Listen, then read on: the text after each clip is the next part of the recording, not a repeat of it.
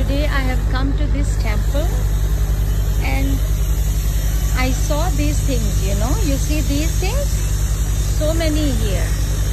I never knew what it is, but today I came to know that this is a place where when someone dies, either husband and wife, brothers, sisters, whatever the blood relation, and their family members they come and they make this in the temple and I think that they put some part of their bones inside this.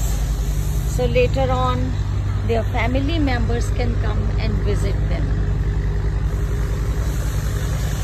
I never knew. I thought it's just for decoration but now when I saw this and I'm seeing the pictures of the people who they have put and they have put the date of birth and death every pillar it has the picture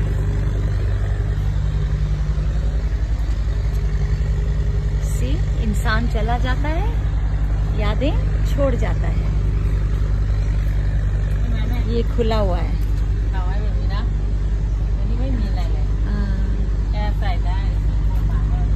think this one is empty. If they want to have this place, they can always. And this is the place where they put the bones inside. Either bones or rock, कुछ भी कह सकते हैं. Beautiful temple.